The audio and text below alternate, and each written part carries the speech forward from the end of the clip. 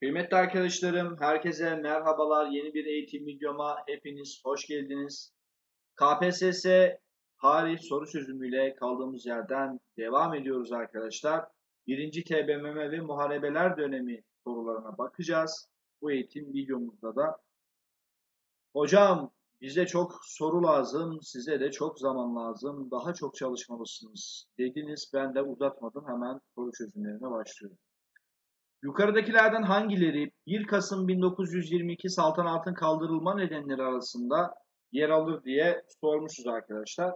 Hocam neydi saltanatın kaldırılması? Biliyorsunuz 1. TBMM'nin yaptığı tek ve en önemli inkılap idi arkadaşlar. Ee, 1. TBMM döneminde yapılan birçok inkılap olmadığı için de biz 1. TBMM için ne diyemiyorduk arkadaşlar? İnkılapçıdır diyemiyorum. Peki saltanatı neden kaldırdık? Hemen öncülerimize bakalım. Osmanlı Devleti'nin resmi olarak sonlandırılmak istenmesi. Evet, saltanatın kaldırılmasıyla Osmanlı biliyorsunuz resmen sona erdi. Dolayısıyla bu bir nedendir. Birinci öncülü aldım. Milli egemenlik ilkesine ters düşüyor mu? Evet. İkinci öncülü de alıyorum. Devlet başkanlığı ve rejim sorunu ortaya çıkması demişiz. Evet hocam saltanatla ilgili konuyla ilgili güzel bir madde koymuşsun. Ama bu bir neden midir? Sonuç mudur arkadaşlar? Buna dikkat edeceksiniz. Devlet başkanlığı ve rejim sorunun ortaya çıkması bir sonuçtur. Yani saltanatın kaldırılmasının sonucudur. İstanbul hükümetinin milli mücadele devam ederken takındığı tavır ve kararların milli mücadeleyi olumsuz etkilemesi.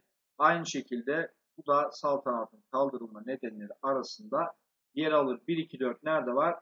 D seçeneğinde. Yani üçüncü öncülü atacağım sadece. İkinci sorumuzda aşağıdakilerden hangisi 23 Temmuz 1923 Lozan Barış görüşmelerine gözlemci olarak katılmıştır ya da gözlemci olarak katılan devlettir?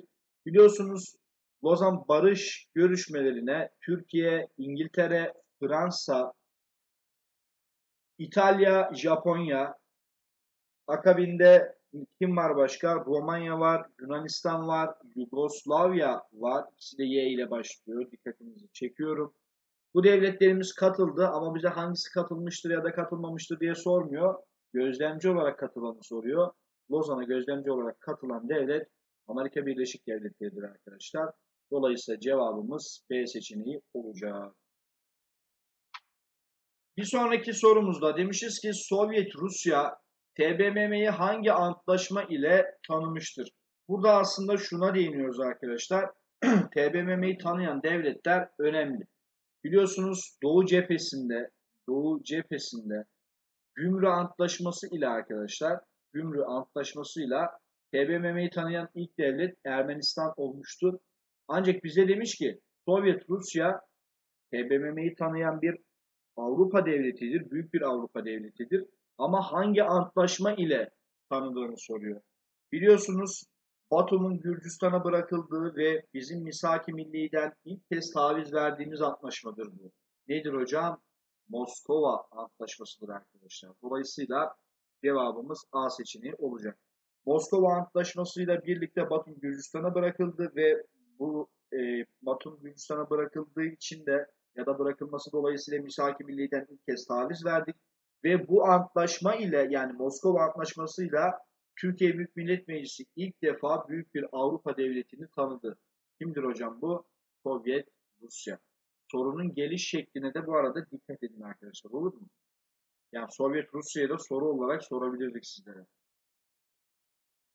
Aşağıdakilerden hangisi Türkiye Büyük Millet Meclisi'nin ayaklanmalara karşı aldığı önlemlerden biri değildir diye sormuşuz. Şıklarıma bakıyorum. İstanbul hükümeti ile tüm haberleşmeler kesildi. İstiklal mahkemeleri kuruldu. Yargılama amaçlı. Değil mi? Heyeti temsiliye oluşturuldu. Firariler kanunu çıkarıldı. Asker kaçaklarını önlemek adına. Mehmet Rıfat Börekçi milli mücadeleyi destekleyen bir fetva yayınladı. Şu isme de bu arada dikkat edelim arkadaşlar. Mehmet Rıfat Börekçi'ye. Doğrudan C şıkkı, C şıkkına gittiğinizi görebiliyorum. Çünkü TBMM diyorsun hocam. Burada heyeti temsiliyenin bir işi yok arkadaşlar. Dedik ki TBMM'nin olduğu yerde temsil heyeti yok. Temsil heyetinin olduğu yerde de TBMM yok. O yüzden cevabımız C seçeneği olacak. Evet 5. sorumuz. Aşağıdakilerden hangisi Sakarya Savaşı'nın diğer isimlerinden biri değildir? Sakarya Savaşı ya da Sakarya Meydan Muharebesi. Şıklara bakıyorum. Melhame-i Kübra var mı? Var. Rum Sındığı, Subaylar Savaşı, 4. Yunan Taarruzu, Zabitler Savaşı. Subaylar Savaşı, Zabitler Savaşı, Melhame-i Kübra ve 4. Yunan Taarruzu. Neden cevabım B seçeneği? Çünkü Rum, sun, Rum Sındığı Savaşı Başkomutanlık Meydan Muharebesi'nin diğer adıdır. Bize Sakarya Savaşı'nı sormuş. O yüzden cevabımız B seçeneği. Şunu da söyleyelim arkadaşlar. Şu 5 savaşı bileceksiniz demiştik. Birinci İnönü, ikinci İnönü, Eskişehir, Kütahya Muharebeleri, e, akabinde Sakarya Meydan Muharebesi ve Büyük Taarruz. Kronolojik sıraya göre söyledim. Ve birinci, ikinci, üçüncü, dördüncü, beşinci Yunan taarruzu şeklinde de bu savaşlar isimlendirilebilir. Bakın Sakarya Savaşı mesela Büyük Taarruz'dan bir önceki savaş dördüncü Yunan taarruzudur. Bir diğer ismi. Evet altıncı sorumuza baktık. Meclisin Ankara'dan Kayseri'ye taşınması hangi savaş öncesi gündeme gelmiştir diye sormuşuz. Arkadaşlar soru köklerine lütfen dikkat edin. Bir kere meclisin Ankara'dan Kayseri'ye taşınması gibi bir durum söz konusuysa bu Eskişehir Kütahya Muharebesi'nin bir sonucudur. Ama şıklarda bu da var. Aman arkadaşlar aman. T seçeneğine düşmeyin. Çünkü hangi savaş öncesi diye sormuşum. Eskişehir Kütahya Muharebesi'nden bir sonraki savaş hangi savaş arkadaşlar? Sakarya Meydan Muharebesi değil mi? Yani cevabımız A seçeneği olacak kıymetli dostlarım. Evet yedinci sorumuz. Misaki Milli'den ikinci kez taviz hangi savaş sonucunda hangi antlaşmayla verilmiştir? Birinci taviz Moskova antlaşmasıyla biliyorsunuz verildi ki Misaki Milli'den birinci taviz nedir? Batum. İkinci taviz ise Hatay. Hatay peki nerede taviz verildi? Tabii ki de Sakarya Meydan Muharebesi'nde arkadaşlar. O yüzden şıklara bakıyorum şu üçünü eledim. peki Sakarya Meydan Muharebesi'nde hatırlayın Ankara Antlaşması demiştik.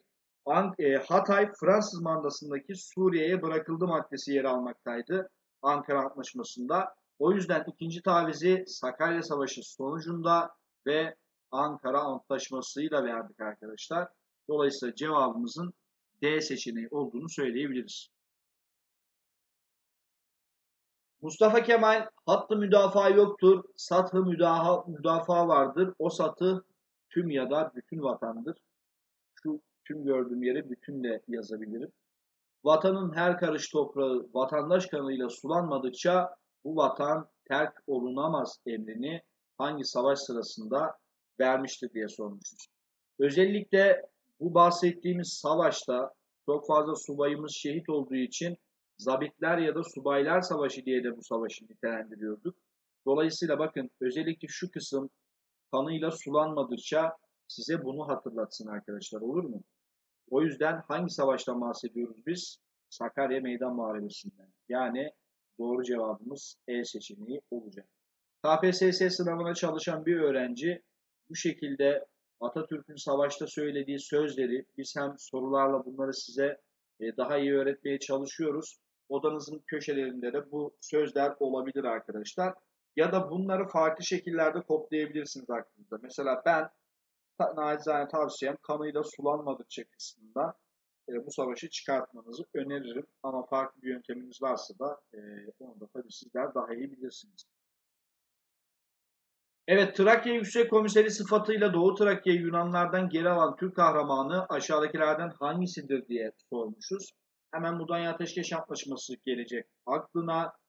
Özellikle Trakya Yüksek Komiseri demişiz ki soruyu da buradan çözeceksiniz. Evet Doğu Trakya Yunanlardan geri alması burada sizlere hatırlatabilir. Ama Trakya Yüksek Komiseri dediğimiz zaman direkt nereye gideceksiniz? Refet Bele'ye arkadaşlar. Trakya, e, Trakya Yüksek Komitesi sıfatı Refet Bele'ye aittir. Cevabımız C seçeneği olacak.